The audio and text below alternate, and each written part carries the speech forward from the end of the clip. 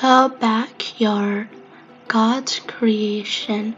I've been saying that a lot, and maybe some of you are wondering, why is it God's creation? What happened? Well, in this video, I'll tell you. Well, in the beginning of the earth, there was nothing. Then God said, Let there be light, and there was light. The day was over, and God waited till the next day. Then God said, Let there be something to separate the water. So he separated, and there was water on land, which was the ocean, and water in the air, which is the air in the sky. Then he waited till the next day. Then God said, Let all the water be gathered into one, and he called the dry land earth, and the water sea. And then he said, Let all the plants grow on the dry land, which is the earth.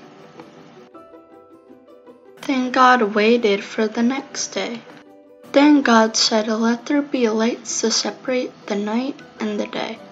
So he made the sun moon, and the stars. Then God waited till the next day. Then God said, Let the water be filled with living things, and let birds fly in the air above the earth. So he created birds, ocean animals, and possibly flying insects.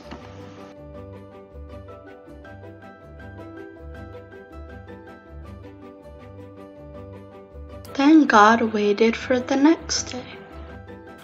Then the next day God said, Let the earth be filled with animals. He made all kinds of land animals and probably land insects and everything else that roams on the earth. And also, he made the first humans, Adam and Eve.